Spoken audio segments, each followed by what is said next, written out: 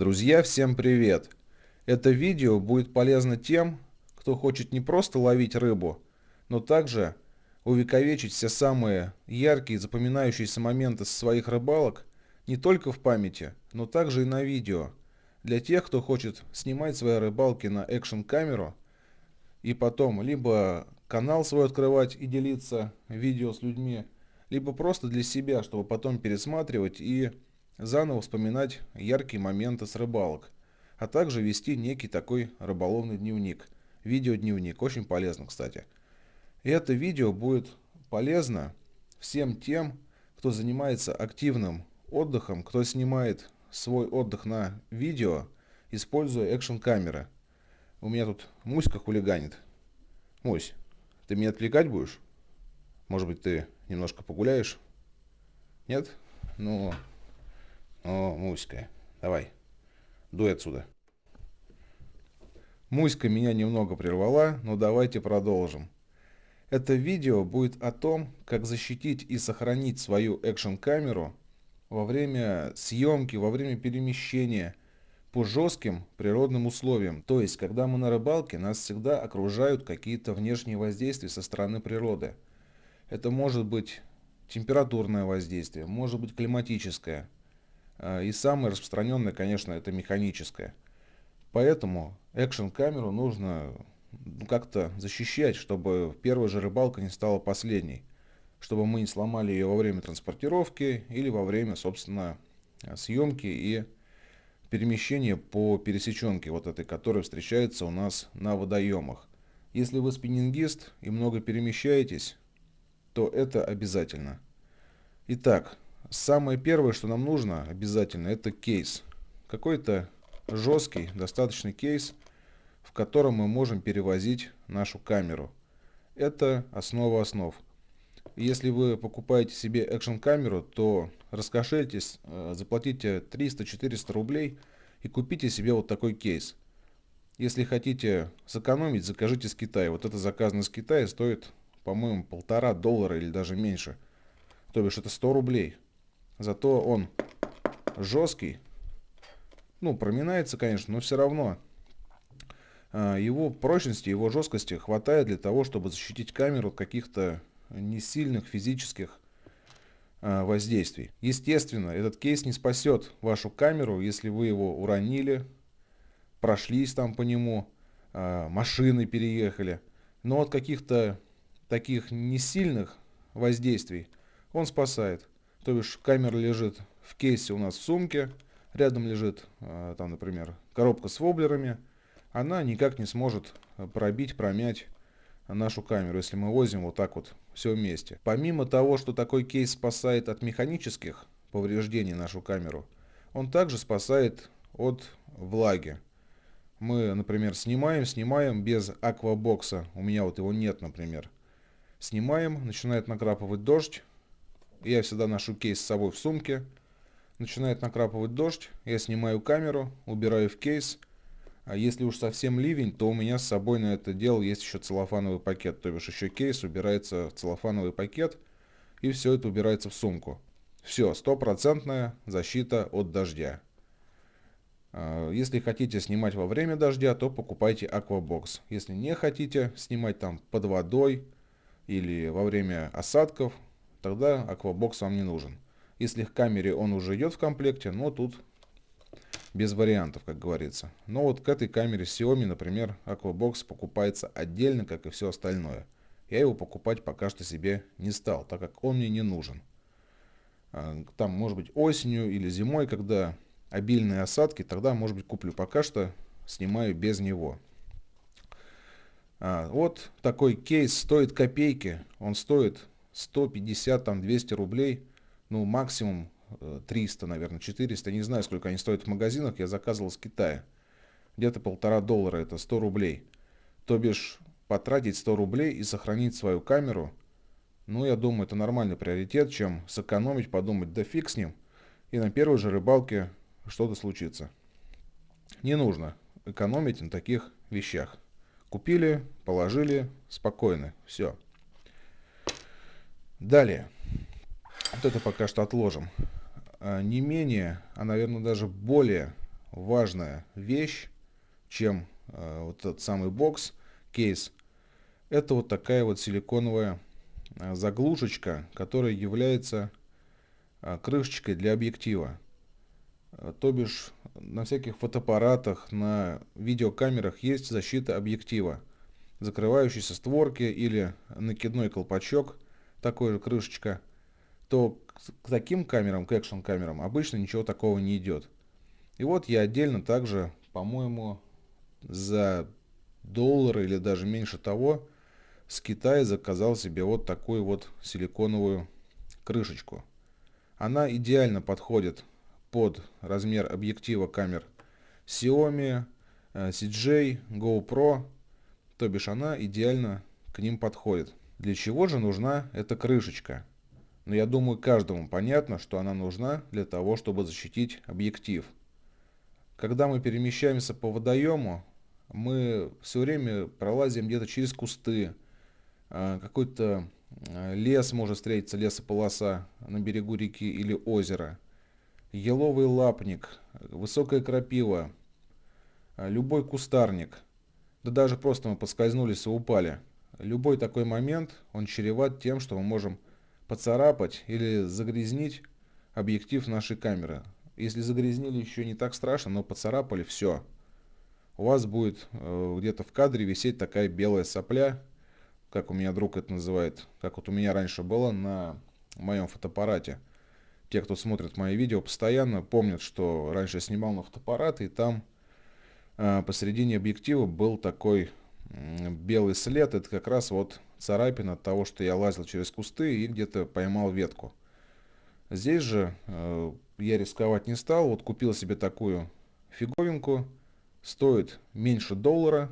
Надевается прекрасно вот, вот так вот. Вот руками я стучу прекрасно одевается на объектив камеры, защищает ее от веток, от грязи.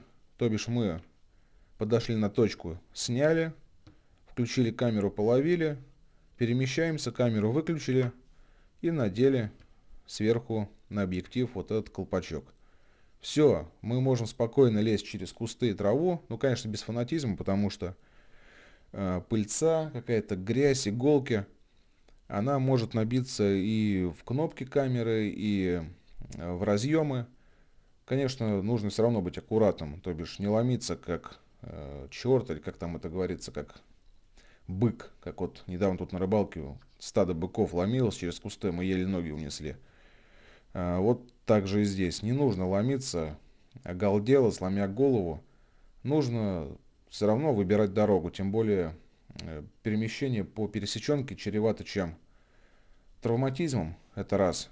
То, что в траве высокой все время есть поваленные деревья, бобровые ямы, просто неровности берегов.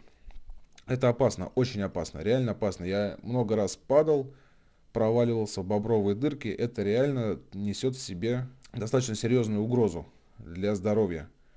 Можно реально сломать ногу или даже хуже. Поэтому всегда нужно смотреть под ноги. У меня тут немножко видео об том, как сохранить экшн-камеру, переходит в то, как сохранить себя. Но я думаю, что все равно нужно сказать. Лишнее не будет. Итак, э, первое это травматизм.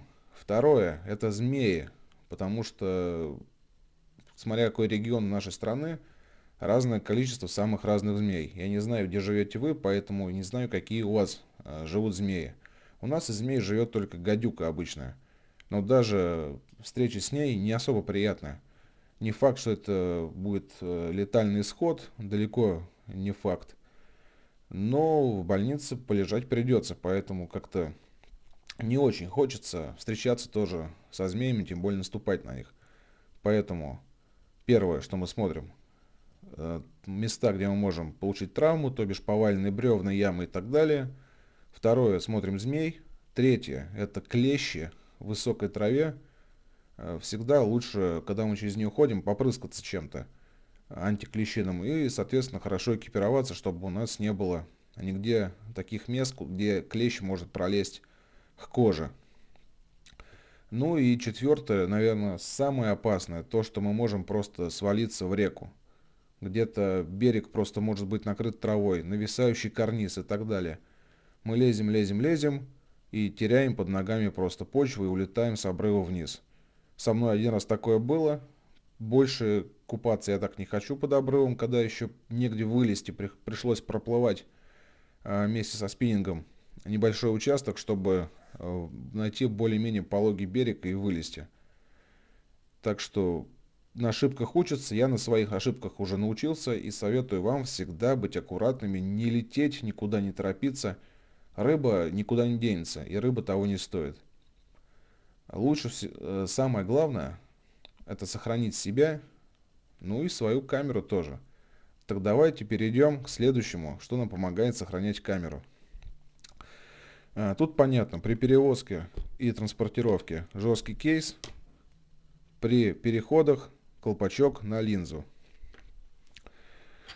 Если совсем уж жесткие условия, какие-то палки, на нас сверху там падает постоянно какая-то почка вот этот, ивовый цвет, э, ураганный ветер, когда какие-то палки сверху валятся, когда пыльца, когда есть э, небольшая влажность, то бишь в воздухе это туман, это слабый дождь, изморозь, то лучше использовать вот такую вот э, рамку металлическую. Она также защищает, во-первых, от механических повреждений. Она твердая, сделана, видимо, из сплава алюминия. Я не знаю, я не магнитил, не проверял. Но, скорее всего, это какой-то э, дюралюминий. А, то бишь она твердая, она легкая, она нам не мешает. Есть все разъемы под кнопки. К этой камере она подходит идеально. А, какой у нее плюс? Ну, во-первых, это защита дополнительная от механических повреждений. Во-вторых, небольшая защита от влаги в чистом виде. Но если мы подсудим вот сюда вот между камерой и рамкой кусочек пластиковой бутылки или даже слюды простой, то это защитит нашу камеру, кнопки камеры от попадания туда воды ни проливного дождя, ни какой-то там, не знаю, цунами, если вас накрыло. Я говорю о моменте, когда небольшая влажность, это утренний туман, когда садится, когда вот насыпается, или когда э, морось идет такая холодная, ненастная погода, знаете, когда вот слякотная, все время такое промозглое состояние, идет морось.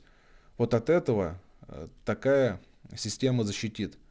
Если начинается достаточно такой нормальный дождик, даже грибной, не то что ливень пролетел, а даже такой грибной дождь, обязательно снимайте камеру, если у вас нет такого бокса. Вы ее утопите, ну буквально двух капель достаточно, чтобы они попали в, под кнопку или в микрофон. Все. Микрофон еще черт с ним, он может просто стать глухим, пока капля там не высохнет, а сохнуть она будет очень долго, потому что там некуда ей особо выпариваться, дырочка очень маленькая. А вот если она попадет в кнопку и протечет внутрь, все. То же самое, если попадет в разъемы. Утопить камеру большого ума не надо. А вот сохранить камеру нам нужно обязательно. Поэтому, чем более мощно на рыбалке мы сможем защитить свою камеру от механических, от любых других природных воздействий, тем лучше.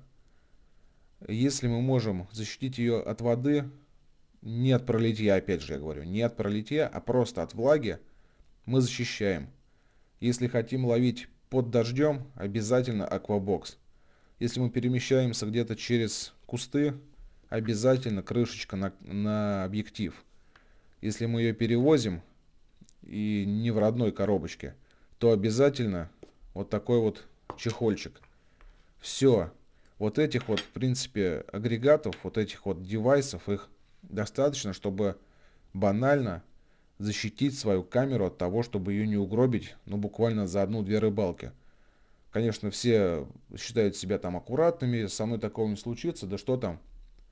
Не случится, да. Один день не случится, второй не случится.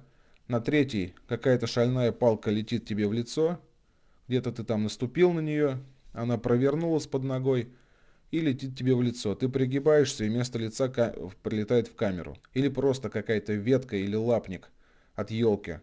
Хлоп, И по лицу даст неплохо, и камеру все расцарапает. Поэтому всем, кто хочет снимать свои рыбалки на видео, ну и не только рыбалки, любой активный отдых, который сопряжен а, с прямым контактом с природой, всем настоятельно советую купить вот такие вот девайсы. Вот на все на это вот ушло у меня, ну не помню, по-моему, рублей 500. Самое дорогое, самое дорогое это вот эта вот фиговина. Она стоит, по-моему, рублей 400. Ну и вот эти две в совокупности стоят 200, то бишь, ну, на 600 рублей. Я не считаю, что это такая огромная деньга, которую стоит жалеть и потом поплатиться тем, что у вас э, загнется камера. А у меня, увы, в кадре темнеет, потому что пришла туча. Что еще сказать? Если вы реально хотите сэкономить, заказывайте все это с Китая. Здесь такие прибамбасы стоят в 2, 3, даже в 5 раз дороже могут стоить они в наших магазинах. Грудное крепление, которое сейчас на мне, самое дешевое, которое я нашел, стоит в нашем городе 1600 рублей. Это самое простое. Крепление от GoPro стоит 3200 рублей. То, которое на мне, с которым я езжу на рыбалку, снимаю уже э, больше трех месяцев, наверное.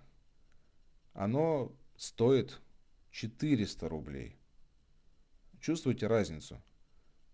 В 4 раза дешевле самого дешевого, который продается в наших магазинах. Качество такое же, ничем не хуже. Вот и все. Если хотите сэкономить, вот такие мелочи спокойно покупайте. Обязательно купите себе вот такую маленькую заглушечку. Она спасет вашу камеру и будет, э, камера вас будет радовать долгие годы. Будете снимать свои рыбалки, делиться на ютубе с людьми, сами пересматривать. Самое главное, мы снимаем для кого? Для своего зрителя, то бишь для вас, друзья.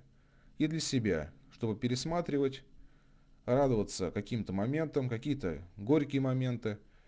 А я тоже, кстати, их снимаю, какие-то вставляю видео, какие-то оставляю для себя, чтобы потом пересматривать и говорить себе, вот, так делать не нужно. И также это полезно как дневник. Вы просто можете вести такой видеодневник и смотреть, как меняется динамика клева от сезона к сезону. Когда начался клев в прошлом году, когда в позапрошлом. Вы просто снимаете и оставляете у себя там папки с датами или просто по моментам выкладывания видео на канал. Если вы выкладываете видео в день, когда вы порыбачили, сразу смонтировали и выложили. Э, как я иногда делаю. Э, ну, в основном, в принципе, я так и делаю, потому что руки чешутся, приехал после рыбалки, эмоции переполняют, хочется скорее все это соединить, и показать вам. Поделиться, чтобы вы оценили, сказали хорошо или плохо. Э, в принципе, любую оценку я принимаю. Также я часто в видео вставляю кадры. Они, в принципе, мало связаны с рыбалкой. У меня половина ролика может быть вообще без рыбы, просто с видами природы. Я вставляю это, потому что некоторые люди любят смотреть именно красивые виды природы. Мне люди пишут, говорят, Красиво снимаешь, красивые места, природа красивая у тебя. Поэтому я стараюсь, если наснимал каких-то красивых планов, красивого водоема, но не поймал я рыбу в это время. Жалко выбрасывать, просто удалять эти файлы. Я все равно режу какие-то самые красивые моменты и вставляю видео. Поэтому не обессудьте, а, те, кто смотрит мои ролики. А если там в середине ролика или в конце ролика будет целый кусок в 5-7 минут без рыбы, просто где я там прокидываю какие-то интересные места, облавливаю. Главное, что они красивые. Вы не думайте, что только рыба важна на рыбалке. По-моему, самое важное это природа, это единение. Конечно, опыт важен, а, спортивная составляющая и так далее. Да, все важно, но именно вот тот дух единения с природой, это самое главное. Поэтому я не люблю городскую рыбалку. Ну а на этом все, друзья. А то я тут уже затрепался. Видео будет, наверное, называться «Как защитить камеру» и «Моя болтовня». А, болтовню я ставлю, не буду вырезать. Если кому-то она интересна, тогда поставьте палец вверх. Если я вас тут замучил левой болтовней, тогда, конечно, вниз. А мне остается пожелать вам удачи, хороших рыбалок и ни хвоста, ни чешуи. Снимайте больше видео и делитесь ими. Всем пока!